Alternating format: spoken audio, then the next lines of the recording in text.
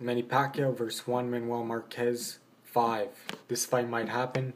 Marquez, uh, there's a slight kind of when he when he talks about when people bring up the fifth fight, if if Pacquiao beats Bradley, he they ask him if he'll uh, fight uh, if he'll fight Pacquiao, and he he doesn't say a straight answer yet he says, let's see what happens. Let's see what happens in his fight and my fight, and then we'll go from there. So I think he is open to having that fifth fight with Pacquiao to get that fifth title in the fifth division.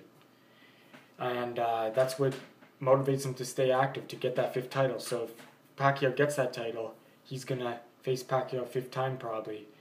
And it's going to be a great fight if that happens. It's going to be probably 1.5 million buys, maybe more. I think. So anyway, I'm excited if that fight ever happens, and uh, I think Marquez would fight Pacquiao fifth time. He sounds like he would, from how he's talking. But we'll we'll see when uh, their fights pass. If uh, Pacquiao beats Bradley and Marquez beats Alvarado, or if they lose, maybe they'll still fight. But I'm going with Pacquiao to win, and Marquez. I can see him winning too. So. We'll see what happens, and thanks for watching. Subscribe if you like my videos, and leave your comments in the comment section below. Thanks.